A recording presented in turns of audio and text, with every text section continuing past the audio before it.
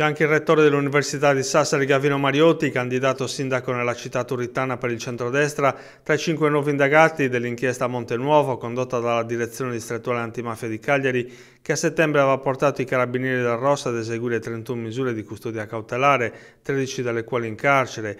Tra gli arrestati Gabriella Murgia, ex assessora regionale dell'agricoltura, e il primario Tommaso Cocco. Per la DDA gli indagati farebbero parte a vario titolo di un'associazione per delinquere che operava in tutta la Sardegna e che univa elementi della criminalità sarda con rappresentanti delle istituzioni. Agli indagati il pubblico ministero Emanuele Secci contesta una serie di reati dal peculato all'abuso d'ufficio alla corruzione e al traffico di stupefacenti.